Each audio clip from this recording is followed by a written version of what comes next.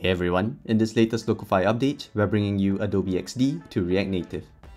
Tag layers on your Adobe XD design to turn them into actual buttons, inputs, and more. Then configure its responsive layout, styling, and add actions for user flows.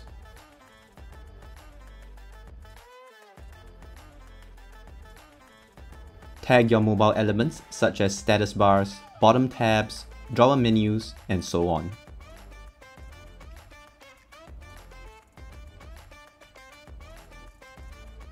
Once you're done tagging, sync your React Native project over to the Locofy builder.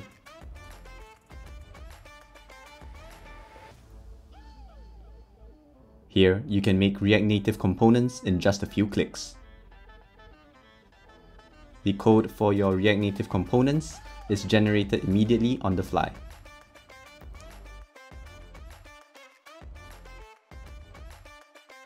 Then easily reuse the same component for similar elements on your design. On the Locofy Builder, you can also view a live responsive prototype which you can easily share with a link or via email.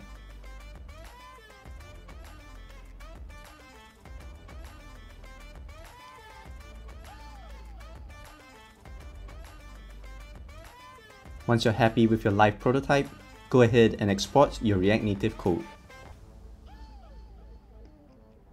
Then head over to your code editor to generate builds for Android and iOS.